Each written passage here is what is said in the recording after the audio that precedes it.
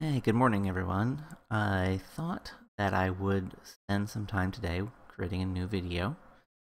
And the topics for today's video are going to be around um, the wardrobe HUD and some sort of general stuff with wardrobe, I guess in general. um, but uh, really, what I want to talk about, the most important thing I want to talk about today is how to add your own custom uh, animation poses to the wardrobe HUD.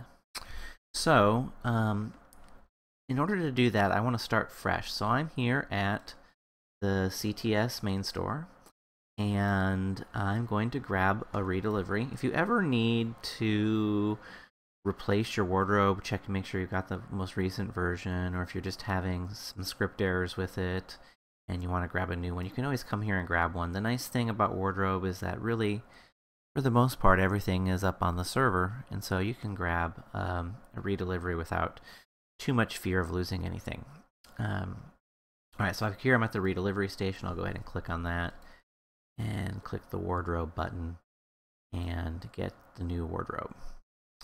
All right, so I've got that. I'm going to go ahead and head back to, uh, let's go back to my house. So I'll go ahead and go home. And I'll take my handy dandy teleporter up to my wardrobe working area and we'll set up up here. Okay, so what I want to do today is show everybody how to go through and um, work with uh, adding custom poses to wardrobe. Uh, so let me go ahead and detach this version of wardrobe that I have right here. Uh, while we're doing it, let's let's look at this feature just so people can see it. So in your wardrobe HUD, there's this hamburger menu, uh, which is what the three lines stacked on top of each other is called. Uh, so if I click on that, I can go to the setup option. And in the setup option, you can choose to use RLV to lock or unlock your HUD. Uh, and as long as it's locked, uh, it won't detach, so it'll be locked on you. So I'm going to go ahead and unlock it so I can detach this version of it. Um, but if you want to make sure your wardrobe HUD is always on, that's a good way to do it. Alright, let me go ahead and open up my inventory. And I'm going to go to my recent here. And I'm going to grab my box and go ahead and res it. Okay, and just so people know, the box here says wardrobe version 2.5. But if I click to open it, you'll see that the actual HUD that's inside of it is 2.5.3, and the closet itself is version 2.5. Alright, so I've got all this here. I'm going to go ahead and copy that to my inventory. And I'll go into the box. Okay, so I've got my new wardrobe HUD here. And what I want to do is I want to add um, custom animations poses to this HUD. Now the reason I started doing this originally was that I wanted to make sure that every picture I took for wardrobe uh, of myself used the exact same pose, so it always looked the same. To me, the consistency of it was very important. When I was using wardrobe previously, I would use sort of whatever pose came up first in the list or whatever seemed to fit right.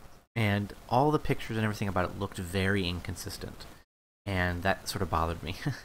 um, and so I I went through and started doing doing this method. Uh, so let's talk about how to do this and the implications of it. So I'm going to start by taking my wardrobe HUD instead of adding it, I'm actually going to drag it to the ground, and it's going to res on the ground. And you're going to get all these error messages, and that's okay. So we'll just ignore all those. I'm going to zoom in on this really close. So this is what the HUD actually looks like on the ground. Um, and let me just say no to any of these prompts that come up. All right, I'm going to right click on my HUD. I'm going to choose Edit. And I'm going to go to my Contents tab. And if you look in the Contents tab, you can see all of these different poses that make up the default pose set. For this process, you can keep these or you can get rid of them. Uh, it doesn't really matter. Uh, I get rid of them because I don't like having to look through all of them. So what I'm going to do for this demonstration is actually come in here. I'm going to grab all of these poses. I'm holding down the control key on my keyboard. Uh, you can also hold down your shift key and select more of them. use your control and your shift key or just click them all um, slowly here. And make sure what you're getting is just the poses. Look for the little pose icon. Verify that you don't have any of the scripts. You just have the poses. Then I'm going to right click and choose delete. Choose OK. Alright, so now I've got a HUD with no poses in it at all. Completely empty. Uh, and the HUD will still work, you just won't be able to pose yourself. Now, let me come over here to my poses. This folder is in the wrong spot. We're going to move that there. That's neither here nor there, though. Um, Alright, so here are all of my poses. Uh, done up by uh, the, the store that makes them. And I want to go ahead and add um, some poses into this HUD that I'm going to use. And for our purposes today, it doesn't really matter what I use, so I'm going to go ahead and choose... Um, let me see if I can find what it's got. Here we go. So this one here, here's these poses from City, or pardon me, from OO Studios, um, and it's called City. And so I'm going to go ahead and grab these. I'm just going to go ahead and grab all of the poses that are not mirrors. And these are copyable poses, so I can drag them in easily. I'm going to take them here, I'm going to select them all, drag them, and I'm going to bring them over to the Contents tab and drop them in. I could also drop them right on the HUD, but when you want to add objects into another object, you need to hold down your Control key. Notice how this cube turns uh, orange, the outline of it turns orange when I hold down the Control key. That means I'm in drop mode. Yellow is edit mode, um, uh, orange is this drop mode. So I hold on uh, that, I can drop them in there, and you can see that they get added. Okay. Alright, so now I've got my poses in there. I've got just the ones that I want. I'm going to go ahead and right click, and I'm going to take my HUD. Alright, so I'm back here. And here's the old HUD that we had. And here's the new HUD. Now you'll notice that once we resed it out and we added our stuff and took it back in, it's now no copy, no mod, no transfer. And before it was full perm. And this is because the scripts in it are no mod and the poses are not transferable. And I'm not exactly sure where the no copy comes from, but probably one of the scripts. So these permissions change when you res it out, and that's okay. Uh, we can always start over again really easily. Alright, so now I'm going to go ahead and, and add this wardrobe HUD uh, like I would normally. Now, I've got those poses in there, and so now if I want to use them, I can click these two arrows here, and it's going to pose just using those animations. And I can cycle through them here, around to my front here. So it's going through and looking at just those poses. And now it's just the ones that I want. So if I want to always have the same pose. And we'll look at my default wardrobe HUD here um, before we finish the video. And you can see that I usually just have two or three poses in there. I think I might have maybe four. I'm not sure. But um, I, I always use the same one. And so I like having just a very small number of poses so it's easy to cycle through them. So a nice thing about having just these few poses in here um, is that you can use these arrows to pose anywhere. You don't need to res your pose stand. So you'll notice I have my big photo studio over here, big white area. So if I want to, I can come in here. I don't have to res out a stand. I can just come in here, click my pose, and take my picture. Really quick, really easy. Without ever having to res out a stand. But let's talk about what happens when we do res the pose stand out. Alright, so if I come in here and I want to res a pose stand, I click on this icon here on the HUD that's got the person uh, posing, and it reses out a stand, and I get this box up here, which asks me, what poses do I want to add to this pose stand? All poses, female poses, male poses, or no poses?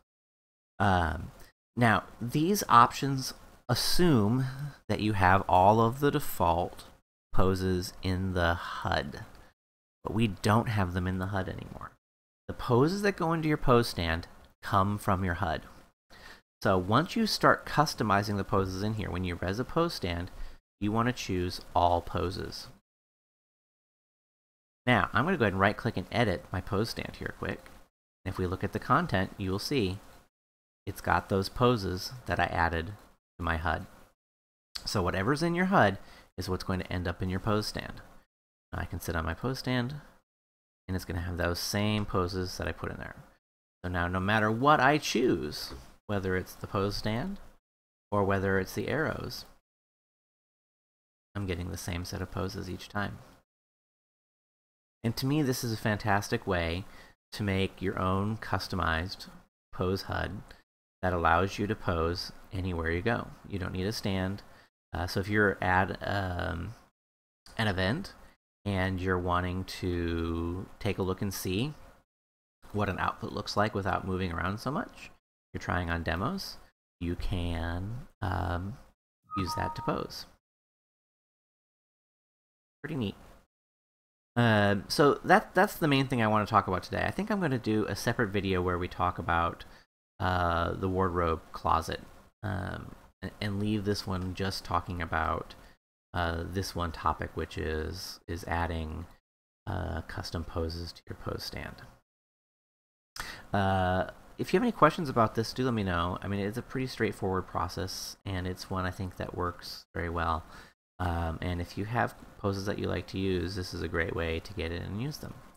Uh, I hope you liked this video, and if you did, please uh, um, give it a thumbs up and subscribe to this channel for more information about uh, CTS wardrobe and inventory management and Second Life in general. Uh, lots of new things coming around, so I think we'll have uh, lots of new videos coming up soon. Uh, until next time, take care. Thanks for watching.